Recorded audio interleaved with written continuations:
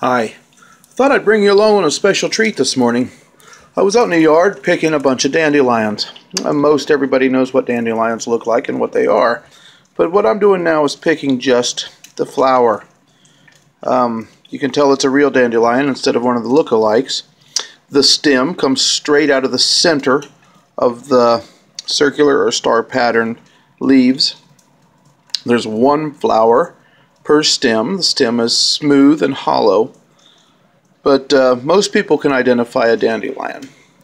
But anyway, I was picking the dandelion tops, and I tried to get it as close to the bud, where it first comes out, as possible.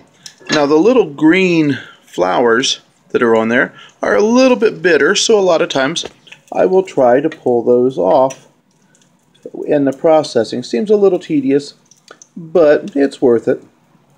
Uh, if you don't take them off, they're not that bad. It's just a little bit bitter, and I like them to be as sweet as possible.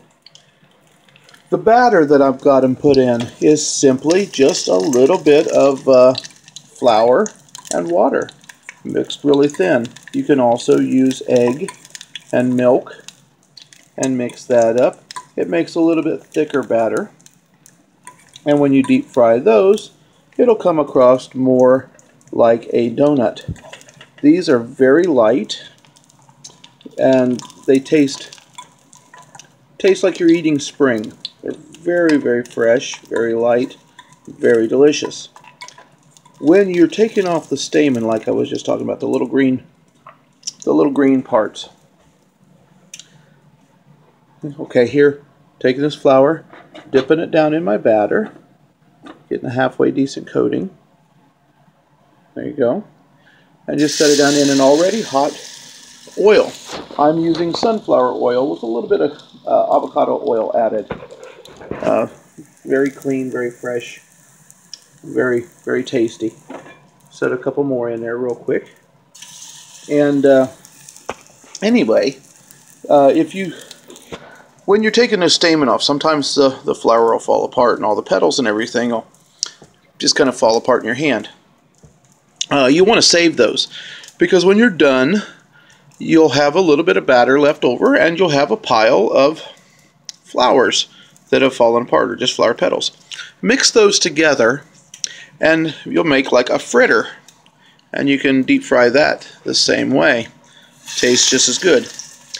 If you want and put it in a deep fryer, especially if you use the egg wash version of the of the batter.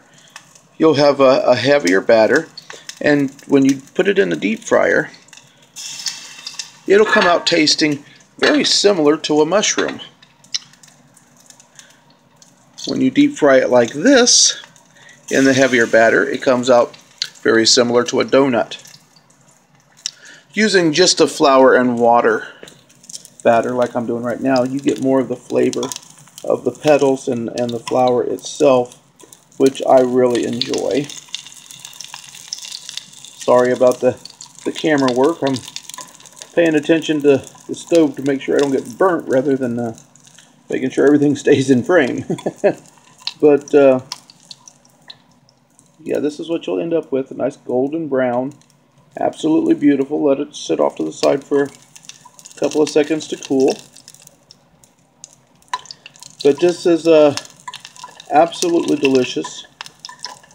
Anybody that has a yard knows dandelions grow absolutely everywhere. They cook very fast. They're extremely nutritious. Dandelion roots are being used in some research for cures for cancer in conjunction with burdock root. You can also cook the greens, and it's much like a, a spinach or kale flavor. Uh, very, very good, very healthy. You can eat it raw, the, the leaves, in salad. Um, you can eat the tops. Every part of the dandelion is, is usable and edible. This is just one of many ways that you can eat the tops. The tops are also used. You can make dandelion wine or dandelion beer. You can eat them fresh like this. Um, and it's also one of the very first flowers to come up in the spring, so it's a first meal for honeybees. So uh, please take into consideration harvesting your yard rather than spraying it to kill it. And if your neighbors say anything at all about it, you could always tell them that you've just expanded your garden. Let them try it, and I guarantee once they have, they will also be cooking their dandelions. Thank you very much for watching. If you enjoy the video, consider a thumbs up, and if you're so inclined, give me a subscribe and watch future videos coming up. Thank you very much. Have a wonderful day. And just before I go, the dandelion,